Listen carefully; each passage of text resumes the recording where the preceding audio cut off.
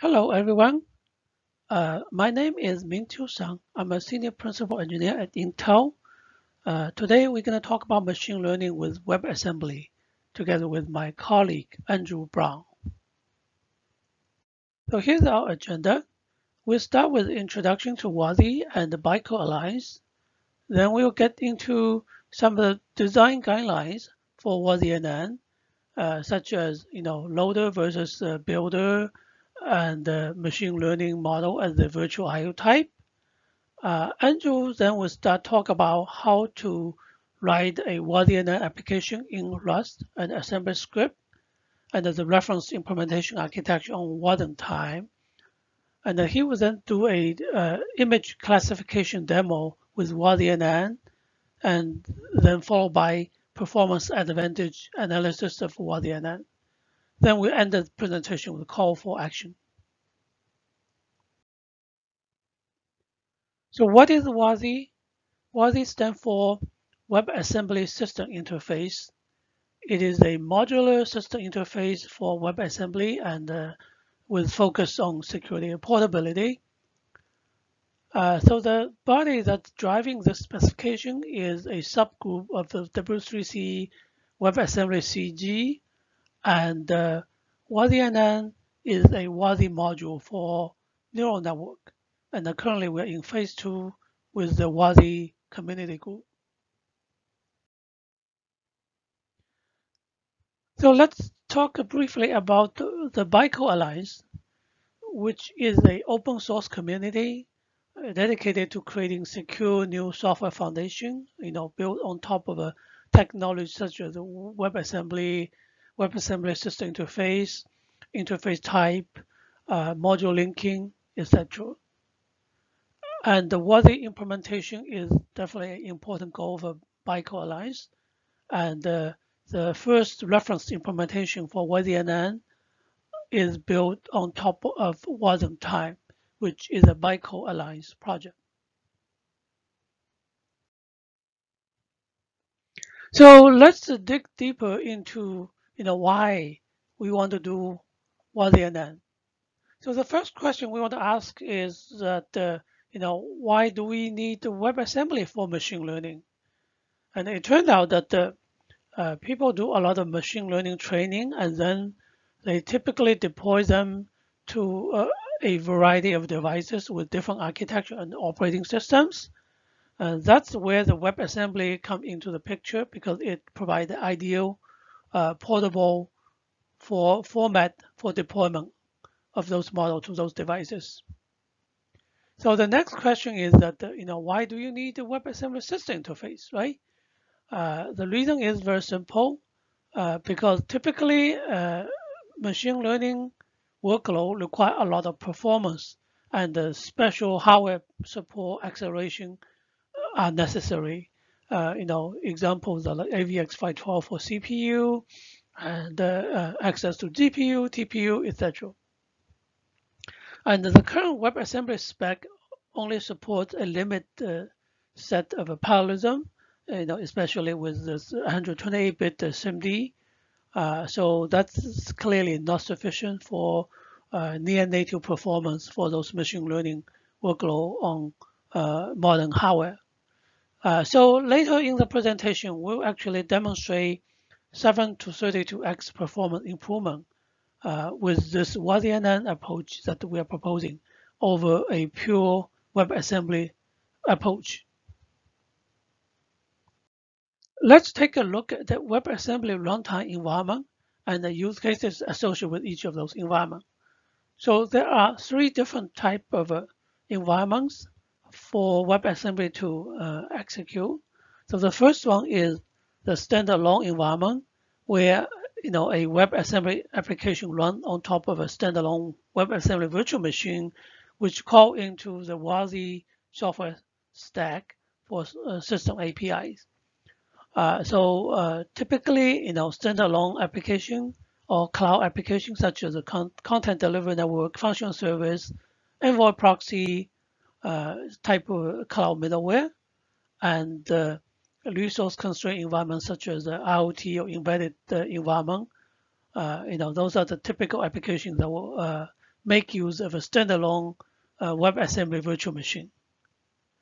Uh, so the second one is, you know, uh, the current mainstream uh, browser environment where that you have access to a JavaScript virtual machine where that the, a, WebAssembly virtual machine is a component of it and have access to web API through JavaScript environment. Uh, that's where the web and then uh, you know API lives, and uh, uh all the browser application or PWA will make use of this environment. So the third category is the Node.js environment, which is a reuse of the V8 uh, JavaScript engine in a standalone environment, and it would uh, make use of Web API as well as WASI API. So this is a case that uh, uh, when you don't have a lot of resource constraint, and uh, you when especially when you need to have both JavaScript and WAS and WebAssembly support, and this will be an ideal situation for those type of applications. So let's take, take a look at uh, some of the design decisions we have made for WASI Uh, in this case, you know, loader versus builder API. Uh, so when we started designing uh, WASI you know, those are the two uh, options that we could take. And we work really closely with uh, the WebNN team, uh, and the, you know they went through similar exercise. Uh, so in the end, we decided to take the model loader API first and uh, uh, push out the builder API to a second phase. Uh, so the reason for that multiple flow and you know inferencing is obviously the main machine learning use case, and that's our initial focus. So a loader API is really uh, an easy way to support inferencing. In terms of feature completeness, uh, you know, machine learning is still evolving rapidly with uh, roughly 20% growth of new operation each year. Uh, so a, a, builder API will probably take multiple years uh, to be, uh, you know, usable and uh, roughly functional complete to cover all the major operations versus a loader API, which we will treat a model as an opaque object and uh, uh, we can just define operation uh, related to the machine learning loader and get done with it. So that's a lot easier path to, to market. Uh, and a loader API is a much simpler API with uh, a better IP protection opportunity. And the next slide, we actually talk about how we treat the machine uh, learning, you know, model format so that uh, we can make the machine, the, the, the main uh, WebAssembly program, you know, framework and the model format agnostic. And uh, it's also very easy to support a variety of devices, uh, you know, CPU, GPU, FPGA, TPU for the loader API. So uh, for uh, the model builder API, you know, the, main advantage of it is that you can provide like operation specific acceleration. Uh, you know, this is very useful for some machine learning framework that lacks support, you know, by some model converters or by some backend machine learning engine. And in that case, you know, if you want to compile that uh, specialized machine learning framework completely into WebAssembly and have some specific operation accelerated by the hardware, then the builder API would be very useful. And we think we can uh, look into supporting that sort of usage in the phase, second phase of uh. And uh, we could potentially leverage uh, the work already done by the WebNN team. Uh, let's talk about machine learning uh, model as a virtualized IO type.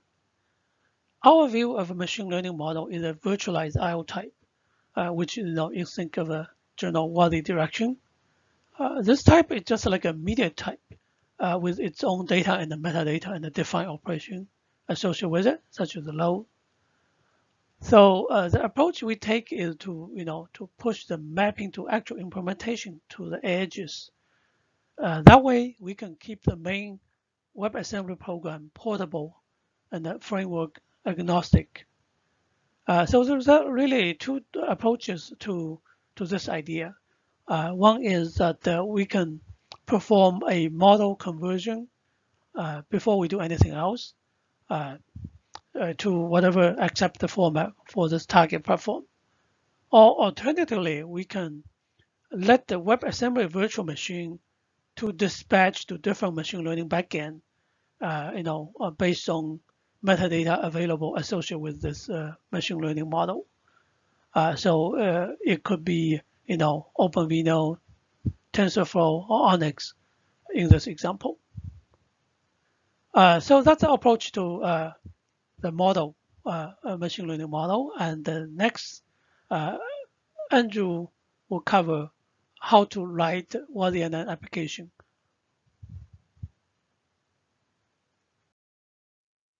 Hi, my name is Andrew Brown. I'm a software engineer at Intel. Let me tell you a little bit more about the WASI-NN API. What you see here is the WITX specification of that API. It's a five function API, uh, including things such as load, uh, initializing an execution context, setting inputs, retrieving outputs, and most importantly, computing the inference using the loaded graph. Here's an example of those bindings in AssemblyScript. What we're trying to do here is make it a lot easier for users to use WASI-NN from their WebAssembly applications. Here are the same bindings, but in Rust you can see that the same functions are exposed, but you have higher level constructs, which should make it a lot easier to use. Though WASI-NN is not tied to any specific WebAssembly engine or machine learning framework, uh, we did have to start somewhere. Uh, and so we used WasmTime as that engine and OpenVINO as the machine learning framework. Uh, this diagram shows you all the various components um, in our implementation. Starting on the left, you'll see the user application code, uh, which when tied together with the WASI-NN bindings can get compiled down to a WebAssembly file. Uh, that WebAssembly file will make use of uh, tensor inputs as, for example, from an image and the model file or files, um, and we'll pass those on to the engine, in our case, WasmTime.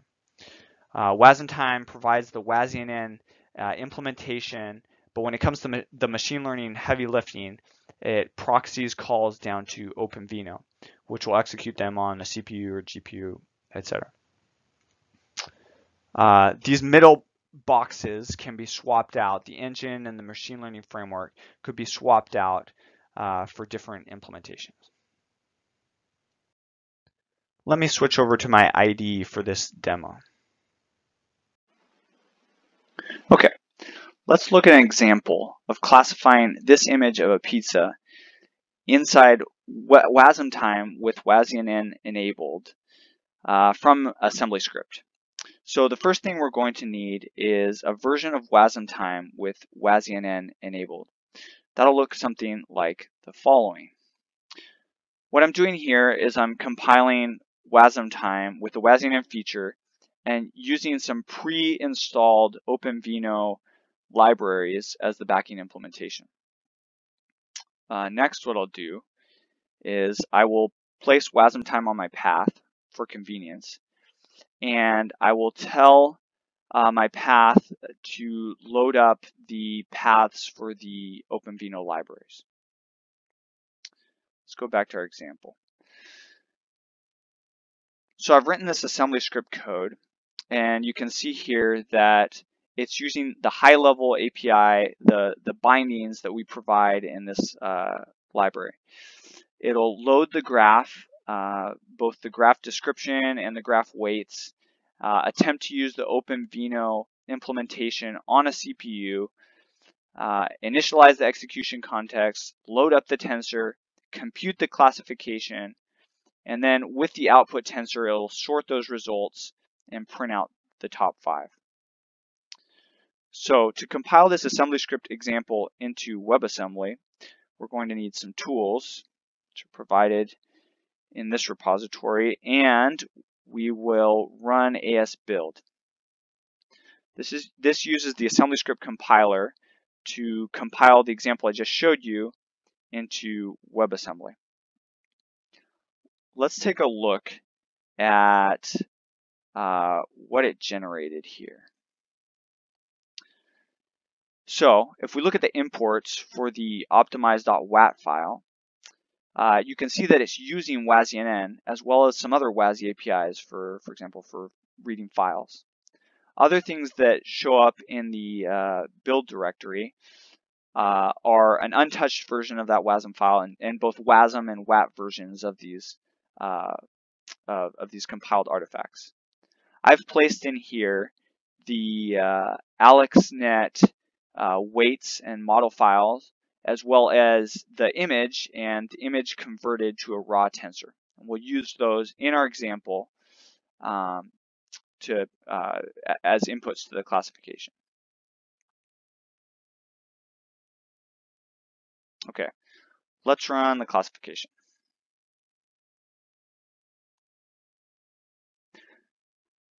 So what it's doing here is loading the graph uh, files. This uh, helper function, read bytes, is probably not as efficient as it could be. I believe it's reading each byte uh, byte by byte. Um, and then we'll see it set up the execution con context and actually run the classification. Okay, so now we see that it's printed out the top five results for the uh, raw tensor that we passed in of a pizza.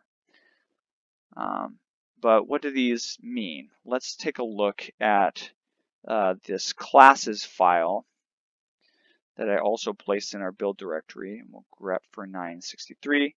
We see, okay, 963 corresponds to a pizza. So it is identifying a pizza uh, from the image I showed you earlier. So this would be an example of using the AssemblyScript uh, bindings to run WASI-NN programs from within WASMTime. After proving to ourselves that we could make this work, we wanted to see what are the performance benefits. Uh, the intuition was that uh, WebAssembly couldn't make full use of, of the system capabilities, uh, whether that was longer SIMD or, or, or, threading or special machine learning uh, uh, instructions. And so to do that, we took as a starting point some work that Murat Dukan had done uh, to run TensorFlow models from within the browser.